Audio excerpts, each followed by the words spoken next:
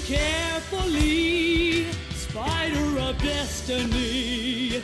You must heed the call of cosmobiology. Listen to me. If you eat the earthlings now, things will all be fine, and then somehow and resume the busy schedule of our ruthless conquest once again.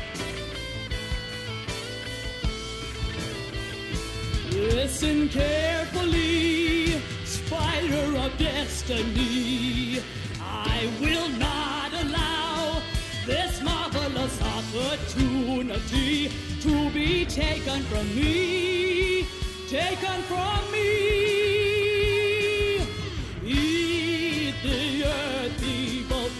Them and chew them and